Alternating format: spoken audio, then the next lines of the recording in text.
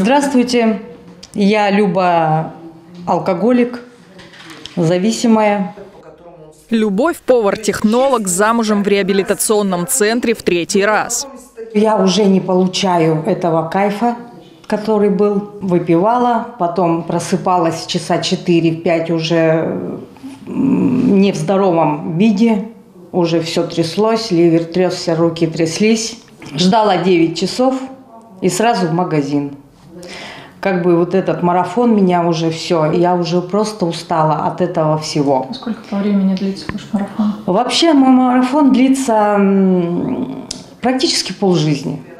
От таких марафонов люди лечатся всю жизнь. В этом барнаульском реабилитационном центре каждый месяц поступает до 20 зависимых. По статистике женщин около 20% от общего числа заболеваемых. Половине пациентов от 40 до 49 лет. 41% моложе, им от 20 до 39 лет. Признают себя алкоголиком не все. Это целый шаг, как и обращение за помощью. В течение трех-пяти дней купировать абстинентный синдром можно. Но если человек не пройдет реабилитацию после этого, можно сказать, что он буквально сразу же вернется к тому, от чего ушел. То есть продолжит дальше пить. А вот э, реабилитация – это работа с психологом, это многофакторное воздействие на пациента. Такое лечение предоставляют в специализированных реабилитационных центрах. Длится оно 45 дней. Родственников тоже не оставляют в стороне. Их называют созависимыми и устраивают для них встречи. Академик Менделеевич, он написал в свое время в своей монографии о том, что алкоголик – это человек, который должен быть пьян, пьян, пьян, затем мертв. Это его естественный ход событий. И если алкоголик идет на противоестественное для себя состояние трезвости, он должен быть, если трезв, то счастлив – Иначе, если алкоголик трезв и несчастен, пить он будет. Он будет принимать алкоголь как лекарство от жизни, как анальгин от зубной боли.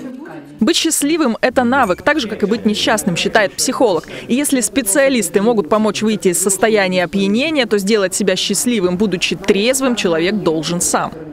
Здравствуйте, меня зовут Борис, я алкоголик. Привет, Борис. С вашего разрешения я проведу наше собрание Например, Ирина посещает общество анонимных алкоголиков каждую неделю. Это ее вторая семья.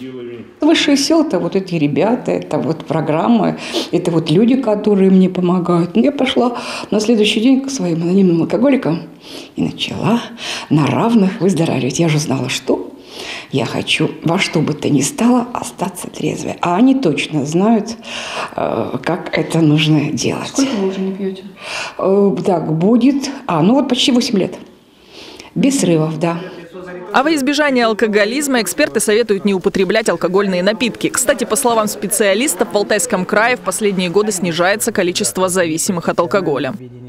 Давайте начнем нашу встречу с минуты молчания. Вспомним о том, что нас объединяет, и о тех, кто еще не знает о нас, кто ищет дорогу к нам. Юлия Щепина, Дмитрий Денисов, Владислав Ковалев. День с толком.